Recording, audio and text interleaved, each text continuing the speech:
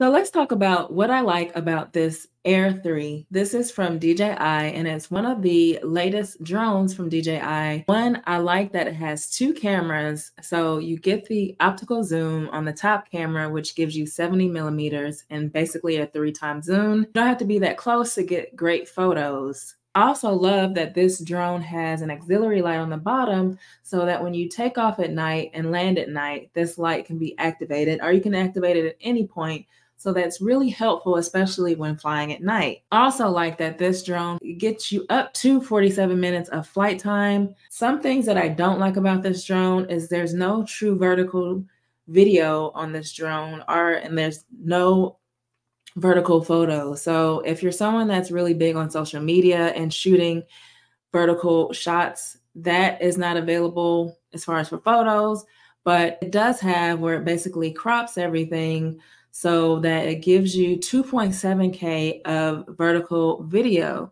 which I don't like because you can't get that 4K video of a vertical shot like you can with the Mini 3 Pro. The sensor is the same size as the Mini 3 Pro, so some of the details are not as great as you would have on like a classic drone or a Mavic 3 Pro.